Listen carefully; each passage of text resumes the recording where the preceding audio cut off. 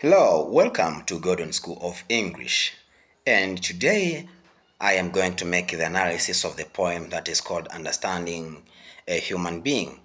This poem was written by a Tanzanian poet who is called Charles Mloka. Listen to the poem before I make the analysis of the poem. The most difficult is feeding an adult man. Whoever may be, the best challenge is. Generous he might be, imbued with this frail. With your relative stay, however, close you may be, staying without sharing the costs. A day will come when you will be shamed. Blamed you will be for consuming her food. No food today, there puzzles you, you will. No money there is, daily slogans will face.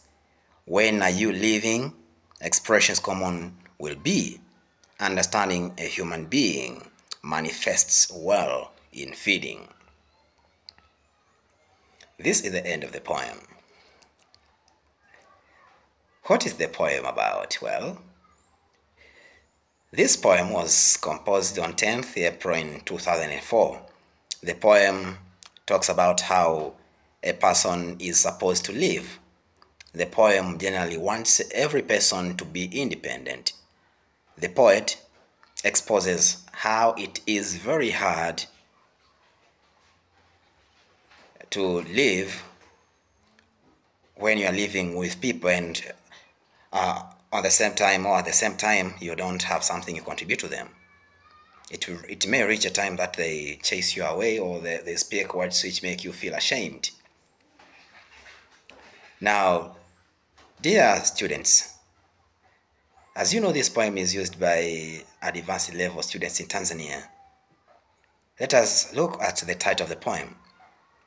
The title, Understanding a Human Being, means that human beings are complicated creatures.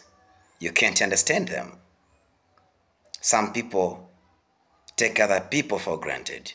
We may therefore argue that this poem teach people to live and understand their fellow human beings. What is the type of the poem? Type of the poem. If we closely read this poem, we can understand that the poem teaches us a lesson on the do's and don'ts in life. That means the poem teaches human beings what to do and what not to do. You see, so in other words, the poet tells us what to do if we are to live well with others. Poem of these kinds will be supposed to fall in the category of didactic poetry. Didactic poetry are those kind of poems which give instructions to readers. Dear students, now apart from the type of the poem, let us look at the tone. Let us look at the tone. The poet seems to be serious in tone. This is proved by the context created by the poet. Right in the first stanza, the persona talks about how being care, how taking care of an adult is a challenging situation. The persona argues that it is naturally the duty of an individual to take care of himself herself. So we argue that the poet, through the persona, tells us that he is very serious about what he's discussing about in his poem. We may also say that the poet has a sympathetic tone because um, he may be interpreted as pitying people who depend on others. The way the persona says plus that the poet is aware of the sufferings that people who depend on others. Uh, what are the possible themes that can be depicted or that can be seen in this poem? Uh, the first theme is self-reliance. The poet or the persona advises that whoever you are, you must fight to be self-independent. Don't depend on others because in the end, you are going to be ashamed.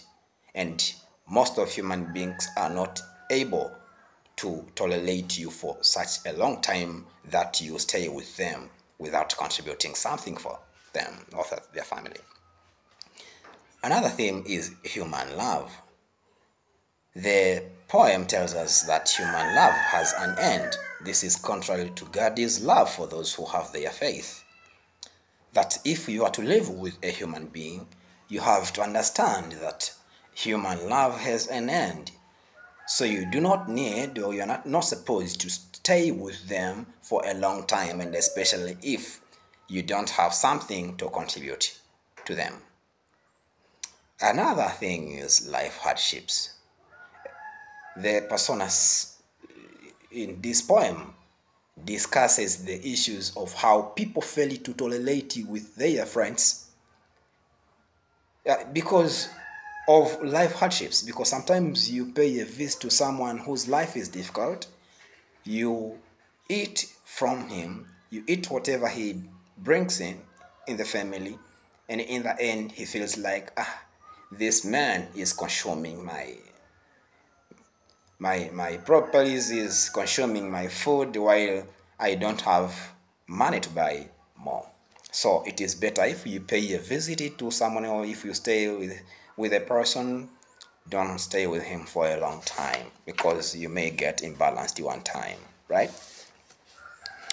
Ladies and gentlemen dear students especially advanced level students in tanzania and you, those who love poetry from all over the world apart from those themes what are the messages that can that we can see in this poem?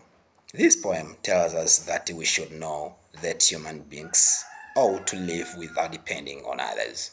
In other words this poem says that we human beings must be self independent. What is the relevance? Is this poem relevant to Tanzanians? Yeah, this poem is very relevant to our today's lives because actually there are people who live depending on their fellows unknowingly that they will one day be hated so it is better for them to find what to do so that they may be self independent. Being self independent or being independent brings respect. Thank you very much, ladies and gentlemen, for following me through this channel, and you know, God bless you.